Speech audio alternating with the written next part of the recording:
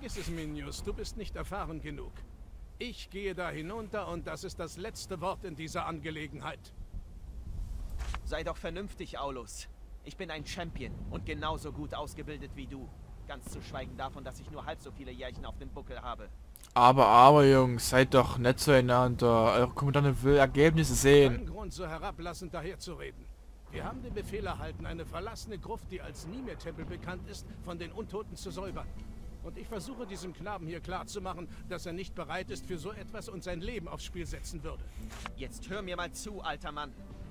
Wenn einer von uns hier eine Chance in dieser Gruft hat, dann doch wohl der, der für den Arthritis ein gefürchteter Imphäuptling war, bis ihn jemand erst letzte Woche aufgeklärt hat.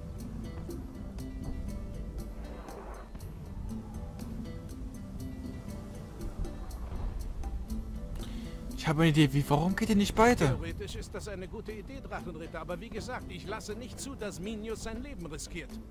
So sehe ich das auch. Aulus wird sterben, wenn er da reingeht. Und ich kann das nicht erlauben. Entscheidet ihr, wer gehen soll, Drachenritter. Und wir werden euch gehorchen.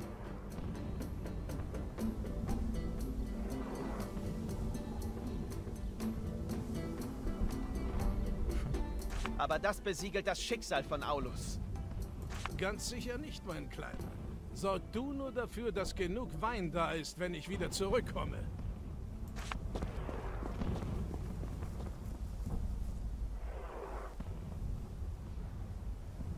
Und da geht er hin. Möge der Göttliche ihn beschützen.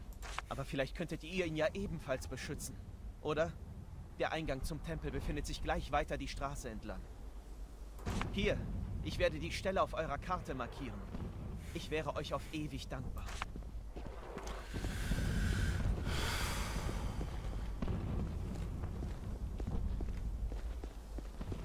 Ich hoffe sehr, dass ihr mir meine Tränke schon bleibt. Ja,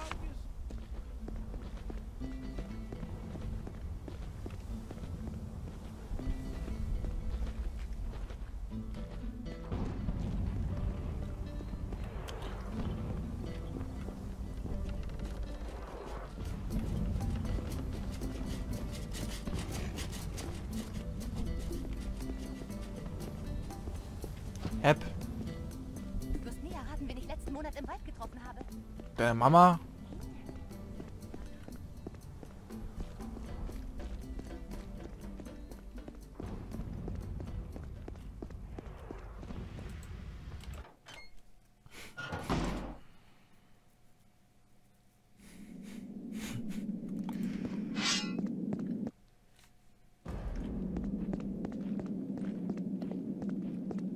Ich glaube, das war eine Entscheidung, wer am Ende stirbt.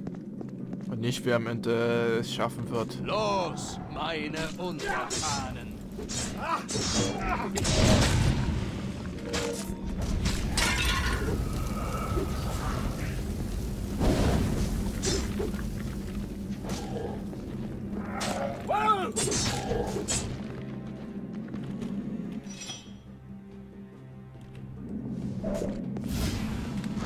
Wurde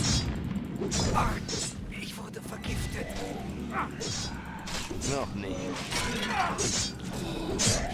Jawohl!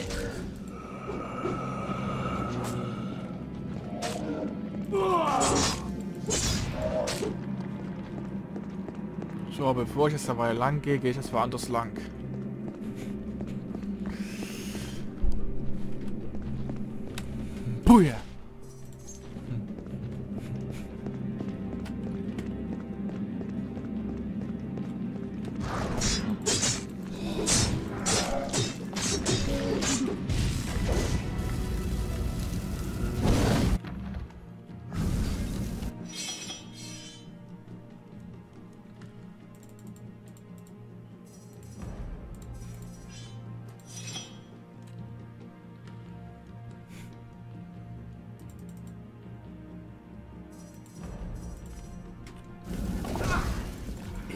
Ein Heilmittel finden.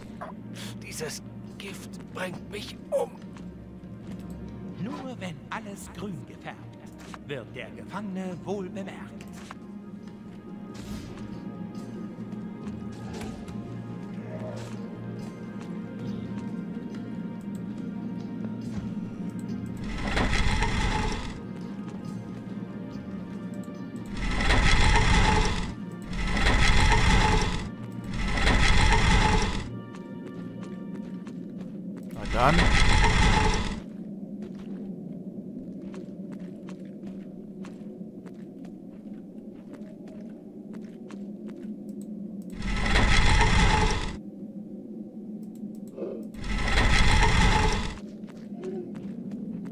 Ich glaube, es senkt was.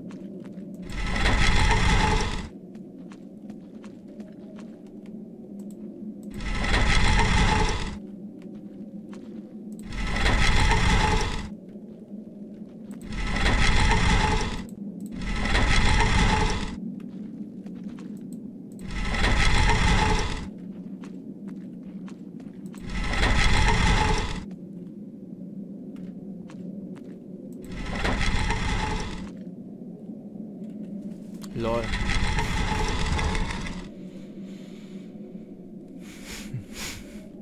Ich hab's hinbekommen.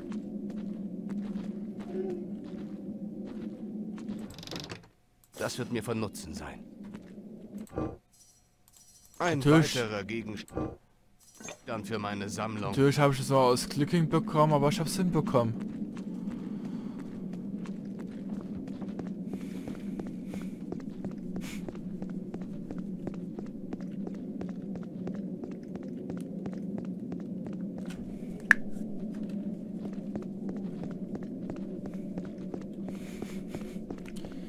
Ist deine Mama grün gefärbt, ist die goldene Gu- Truhe gut gestärkt. Das hat bestimmt wehgetan.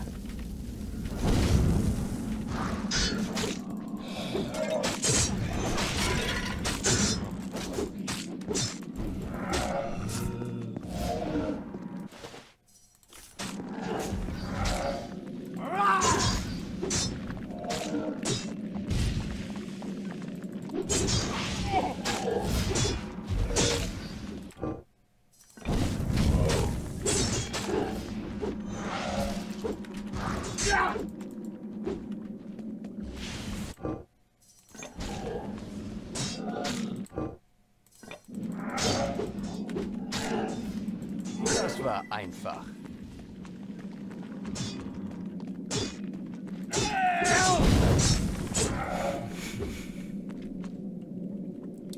Geh du erstmal in Ruhe betten. Ich rufe dich dann gleich wieder. Wenn ich's kann.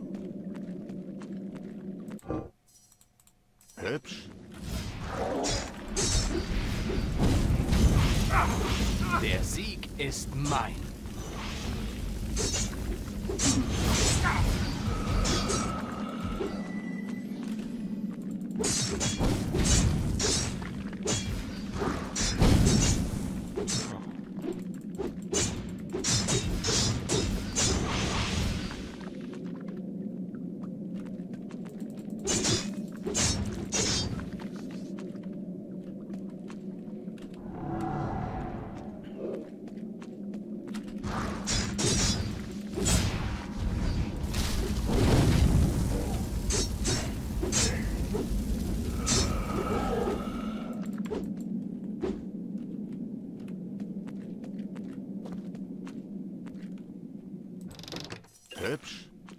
Gold, Gold, Gold.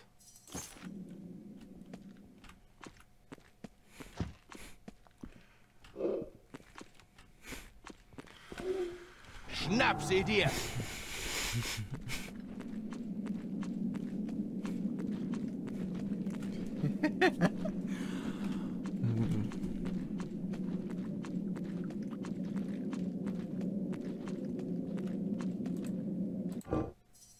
Hübsch.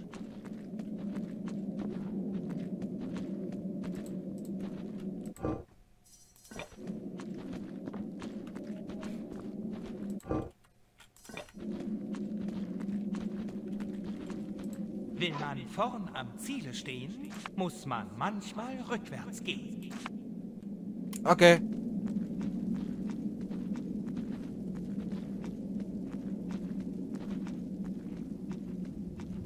Na endlich hat eine sterbliche Seele diesen traurigen, unheiligen Ort gefunden.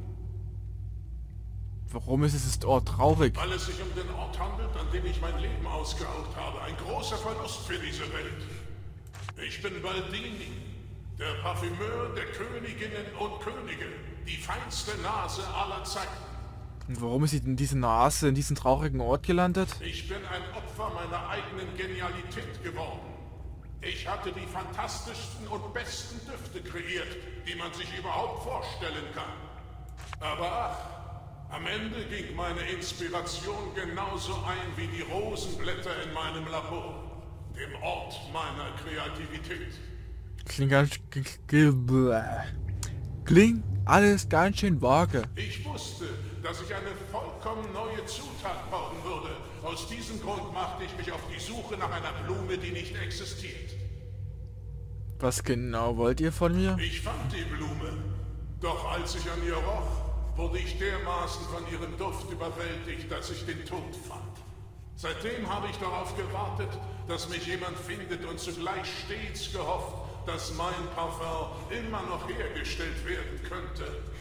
Ich habe weit weg von hier gewohnt, aber eine meiner Nichten hat in Allerot gelebt. Möglicherweise tut sie das immer noch. Ihr Name lautet Chanel. Wenn ihr die Blume zu ihr bringen und ihr sagen könntet, dass ich euch schicke, wäre ich euch auf ewig dankbar. Die Blume befindet sich immer noch dort oben, hoch oben in der Nähe der Decke dieser Gruft. Ich habe die Blume noch nicht. Seid bitte vorsichtig, wenn ihr nach oben steigt. Oh.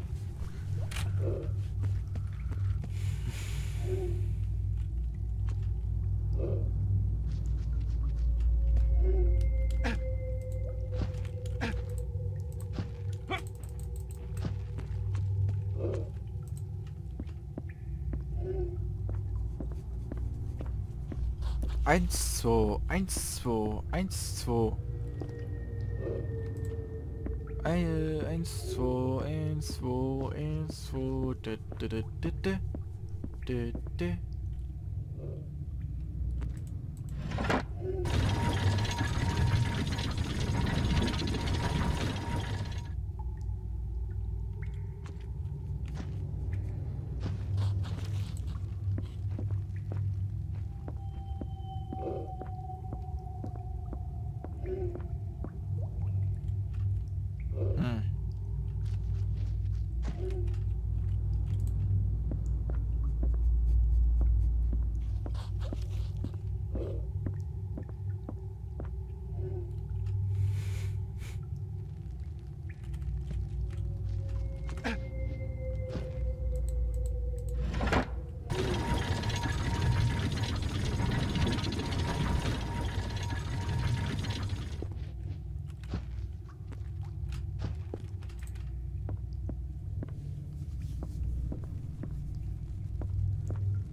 Immer diese Leitern, immer diese Leitern, wer diese Leitern nur gebaut?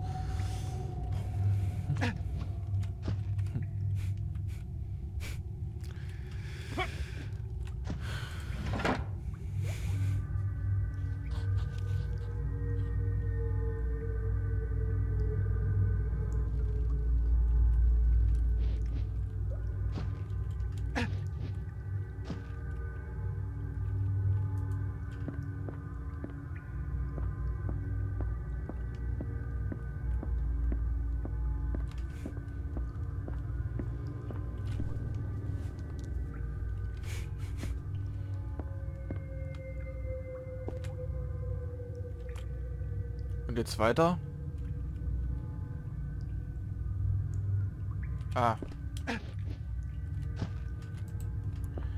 War wieder so ein Jump-Run-Dinger. Geil.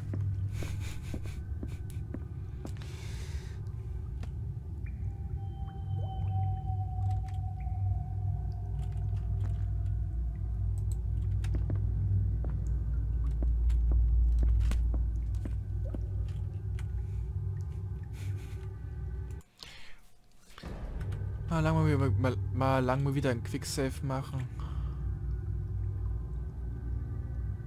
Äh, wo jetzt lang? Dahin. Ähm. Hüpp.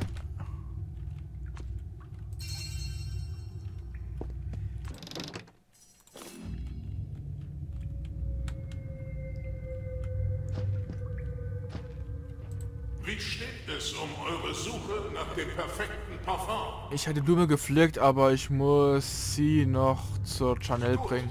Ich glaube, sie wohnt im oberen Bereich von Alerot, an der Lanilor-Promenade.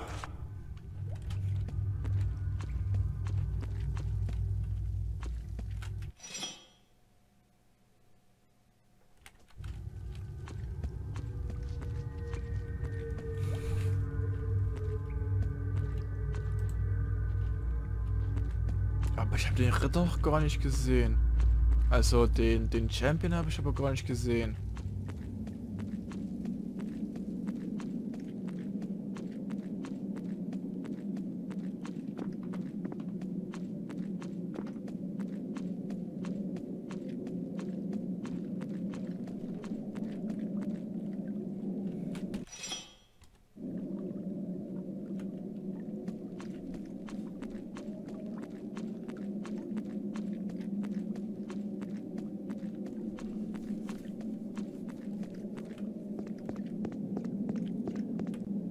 Habe ich den Champion vielleicht übersehen oder was?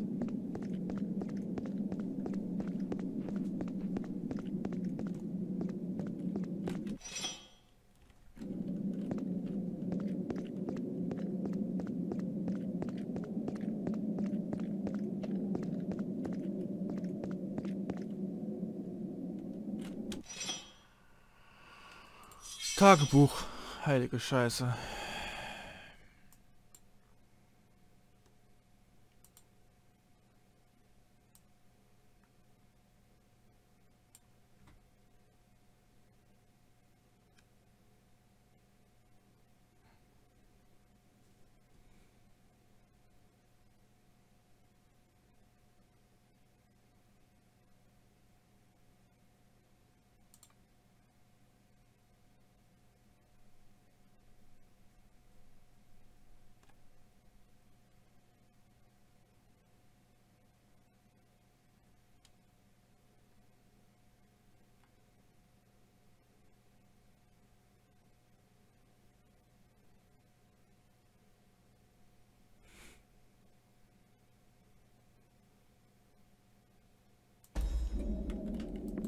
So.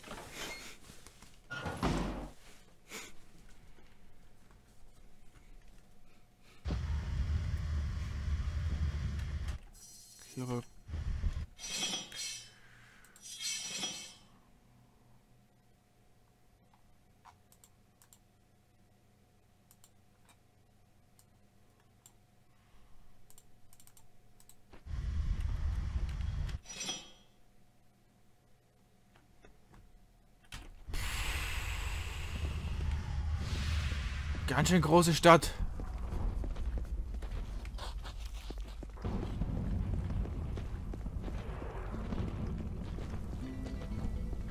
Na, gehen wir mal da rein. Ich bin immer so neugierig. Schlimm, ey. Och nein, ich gehe raus.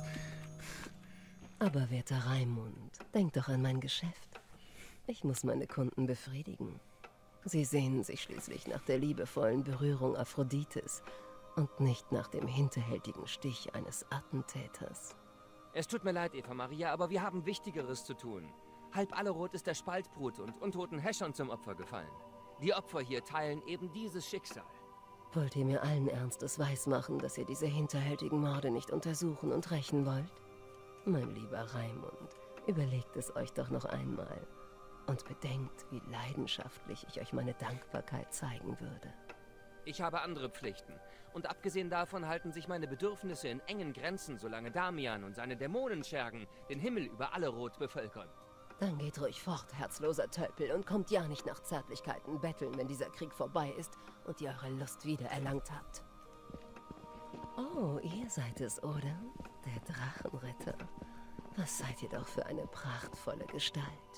Diese verführerischen Augen in diesem hübschen Gesicht. Oh, mir wird auf einmal ganz warm. Mir ist so bewusst, dass ich ungewöhnlich attraktiv bin, doch eure Schmeicheleien sind dennoch ziemlich durchschaubar. Ganz und gar nicht. Es gehört zu meinem Geschäft, Schönheit zu erkennen, aber mir sind in meinem Haus der Sinnlichkeit leider auch einige sehr hässliche Dinge ins Auge gestochen. Ich habe hier in meinem Hotel drei Zimmer und in jedem liegen die Opfer des grausamen Massakers. Die Champions interessiert das nicht. Aber ich muss wissen, was geschehen ist, sonst bedeutet diese Tragödie noch meinen Ruin. Oder sogar mich. Ich hoffe, dass euch das Schicksal heute hierher geführt hat. Dass mich jemand aufsucht, der derart gut aussieht, muss doch bedeuten, dass die Götter der Liebe und der Lust ihre treueste Anhängerin nicht vergessen haben. Nur nicht Schicksal, nur Neugier. Hier sind die Schlüssel für die Räume des Schreckens. Bitte nehmt euch dieser Sache an, dann wird meine Belohnung spektakulär ausfallen. Dort liegt die Leiche eines Mannes aus einem Dorf im Trümmertal. Folo lautete sein Name. Ich weiß nicht, was er hier in meinem Etablissement wollte. Da waren nur er und ein Schwein. Ey, oh nein, nein, nicht Folo. No. No.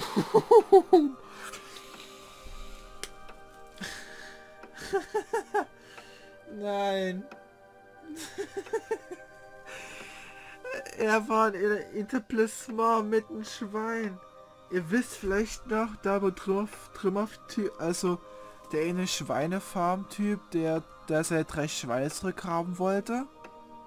Ich denke mal, der war der Folo. Und der war mit einem Schwein hier in, in einem Puff. Nein. oh. Ich vermute, dass er zu einem Jahrmarkt wollte und dann hier gelandet ist. Zur falschen Zeit, am falschen Ort. Der arme Mann. Er wollte nicht zum Jahrmarkt. Trimmertal ist erstens total futsch und zweitens süßer. Er liebte die Schweine anscheinend zu sehr. Das ist eine traurige Angelegenheit. Ja. Die Opfer waren ein junges Paar. Dirk und Dana, meine ich. Und waren hier in den Flitterwochen. So ein furchtbares Pech. Sie wurden auf unbegreifliche Weise in Stücke gerissen. Der Mörder muss unglaublich zornig gewesen sein. Ach, ich falle gleich in Ohnmacht. Aber ihr seid ja hier, um mich aufzufangen. Nö.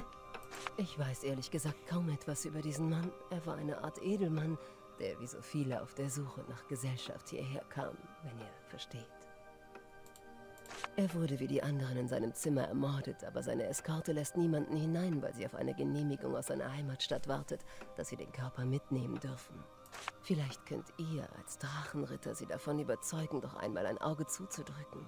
Das dürfte euch doch nicht schwer fallen. Kommt bald so.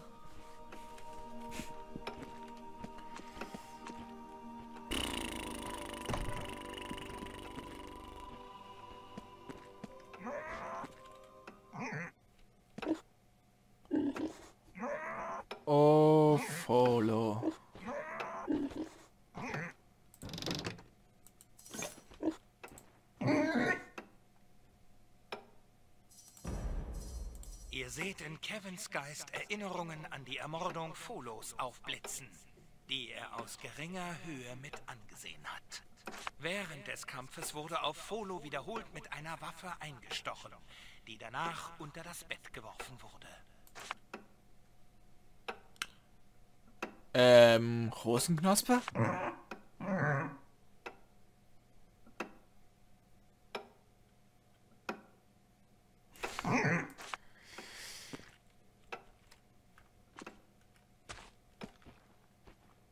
hübsch.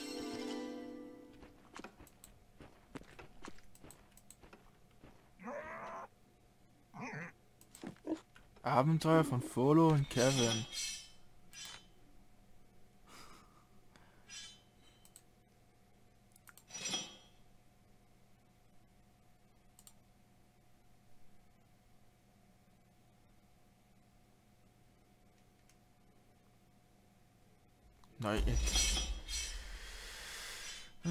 Fantasie hat er auch noch gehabt.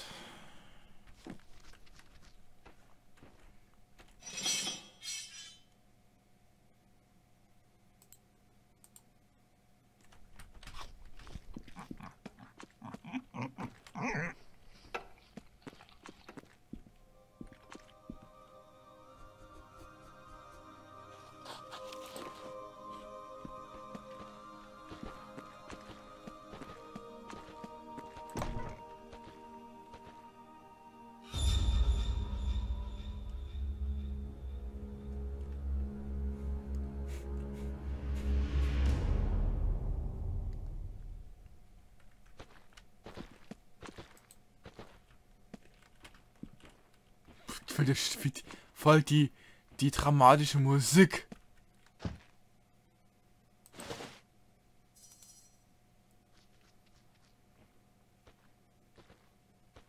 Lol, hat er, grad, hat, hat er versucht, die irgendwie oben zu halten oder was?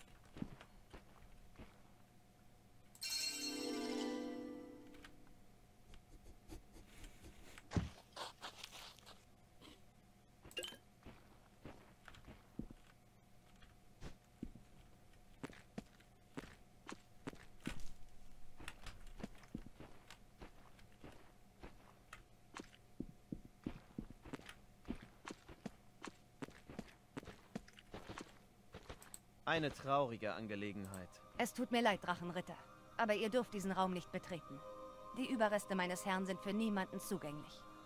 Geh mir aus dem Weg nah. Ich spüre etwas hinter dieser Tür. Findet einen Weg hinein. Ihr müsst. Ich bin mir sicher, dass ihr für jemanden angesehenen wie, wie mich einen Ausnahme machen könnt.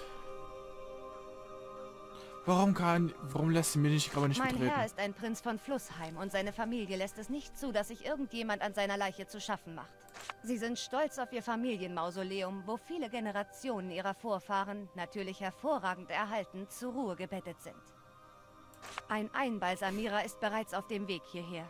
Er wird dafür sorgen, dass die Leiche des Prinzen so unversehrt wie nur möglich erhalten bleiben wird. Jegliche das würde ich gerne, aber meine Befehle sind eindeutig. Niemand betritt diesen Raum. Es tut mir leid, Drachenritter. Beleidigt mich, bedroht mich, aber ich werde nicht weichen. Tretet bitte zurück. Alter, wisst was? Leck mich. Lässt Es sich tut nicht mir leid, bewegen. Drachenritter. Aber ihr dürft diesen Raum... Der Göttliche sei mit euch.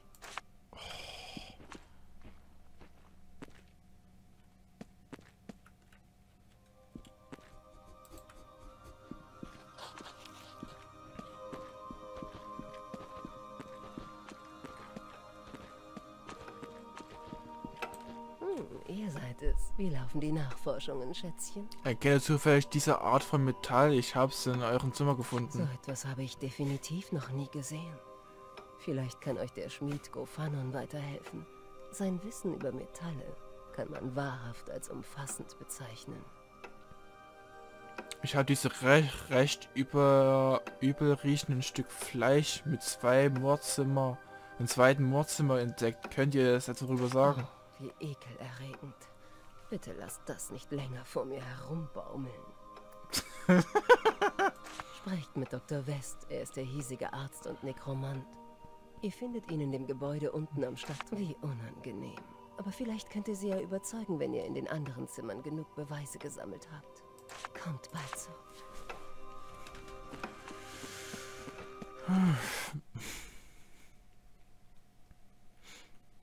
Prinz.